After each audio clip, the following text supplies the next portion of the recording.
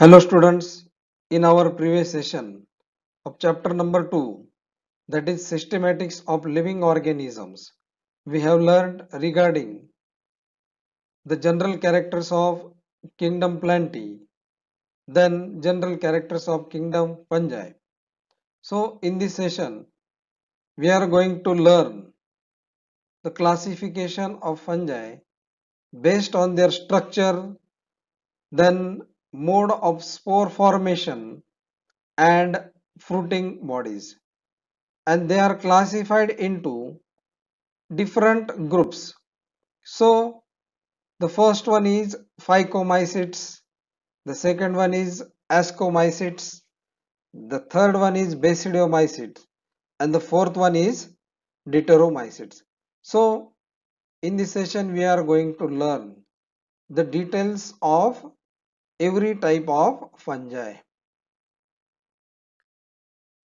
The first type of fungi is called as phycomycetes. Now these phycomycetes are also called as algal fungi. Now algal fungi means they show some similarity to algae like the body is thalloid. Thalloid means it is not well differentiated. Then some fungi are aquatic and they show some characters like algae. Hence they are also called as algal fungi. Then mycelium of phycomycetes is made up of aseptate cenocytic hyphae.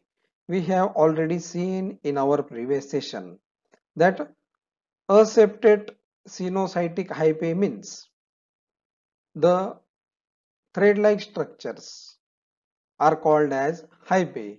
Then they may be uninucleate or multinucleate. Then they show absence of partition or septa between the adjacent nuclei. Hence they are called as non-septate or aseptate cenocytic hyphae. Then phycomycetes commonly grow in moist and damp habitats. Now habitat means the place where living organism is found. So phycomycetes grow in moist. Moist means the place which show moisture in large amount. Then low light conditions. So such phycomycetes grow in moist and damp habitats on dead decaying organic matter. So they show presence of saprophytic mode of nutrition while some show parasitic mode of nutrition. Then some phycomycetes are aquatic that means they are found in water while some are parasites on plants. Now parasites means which directly absorb nutrients from other living organisms.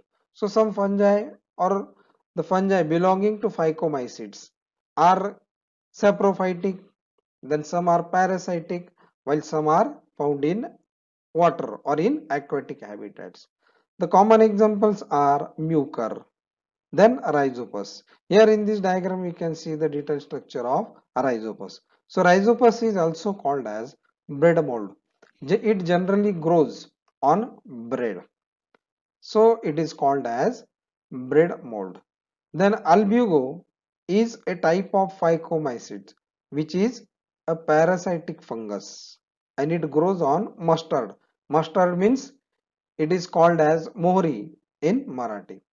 So here we can see the structure of rhizopus. Now these rhizoids or these are also called as rhizomorph absorb nutrients from dead decaying organic matter. Then hyphae are branched.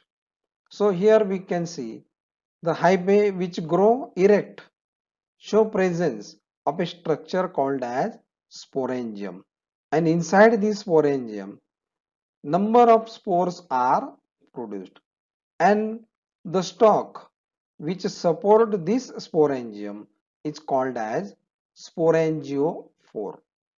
Then so these hyphae when they grow and come in contact with suitable decaying organic matter, they again develop into a rhizopus. So such hyphae are also called as stoloniferous hyphae. So rhizopus is one of the example of phycomycetes. Now the second type of fungi is called as ascomycetes. Ascomycetes are also called as sac fungi.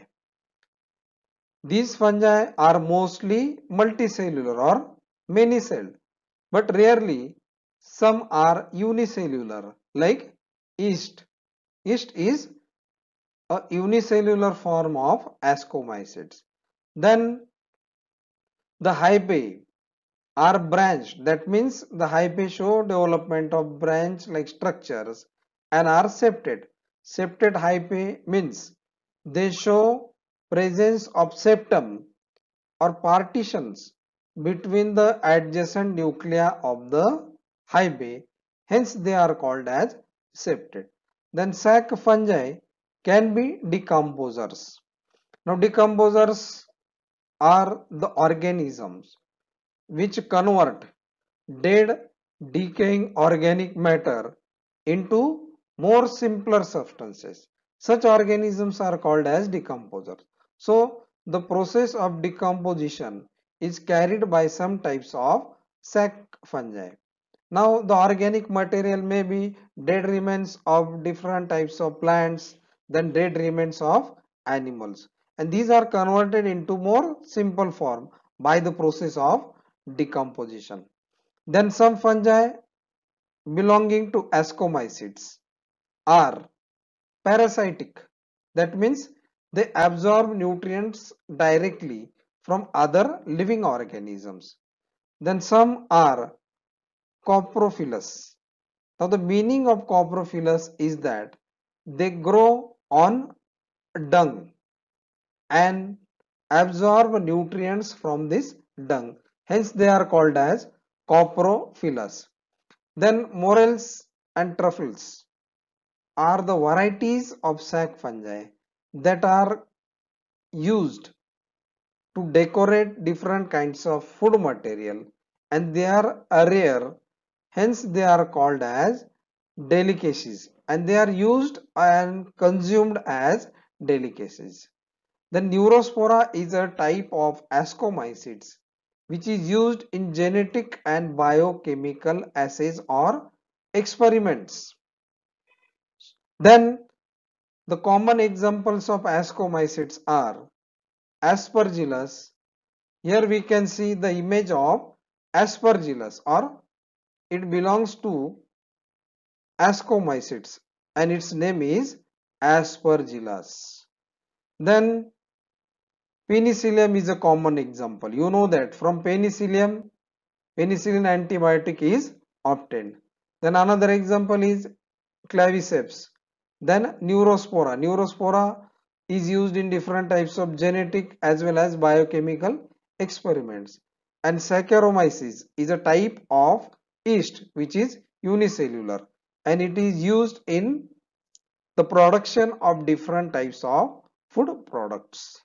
So here we have seen the characters of group Ascomycetes. Now the third type of fungi is Basidiomycetes. Now Basidiomycetes are also called as club fungi. Some fungi have branched septate hyphae. Here we can see or we have already seen the difference between septate hyphae and non-septate hyphae.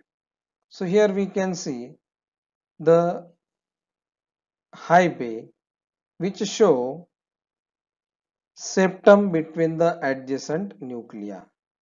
And then these hyphae are branched. Here we can see the branched hyphae. And as they show presence of septum they are called as septate hyphae now the examples of basidiomycetes are the first one is agaricus or agaricus is a type of mushroom. Here in this uh, image we can see the mushroom. The upper expanded umbrella like portion. Then its stalk is here. So these mushrooms are umbrella shaped. Then some mushrooms are edible. Edible means they can be consumed as food material while some are poisonous. So such poisonous mushrooms are harmful and edible mushrooms are useful as they have high nutrient content. Then different types of vitamins and minerals are also present. Then the next basidiomycete is called as ganoderma or it is also called as bracket fungi. Then ustilago ustilago is called as smuts. Then puccinia is called as rust. So some basidiomycetes are disease causing while some basidiomycetes are used as food material. Now the fourth type of fungi are called as deuteromycetes. Now these are also called as imperfect fungi as they show only asexual method of reproduction while they do not show sexual method of reproduction. Hence they are called as imperfect fungi. And examples are Alternaria and Colletotrichum. Here in this image we can see the deuteromycete that is Alternaria. This Alternaria cause disease in plant. Generally it causes disease on leaves that is it destroys the cell and cause brown color spots on the leaves. So it is pathogenic at as it causes diseases in plants as well as alternaria cause diseases in human being like respiratory disorders that is asthma may be caused due to this alternaria. So in this session we have learned the types of fungi. Then remaining topics we will learn in our next sessions.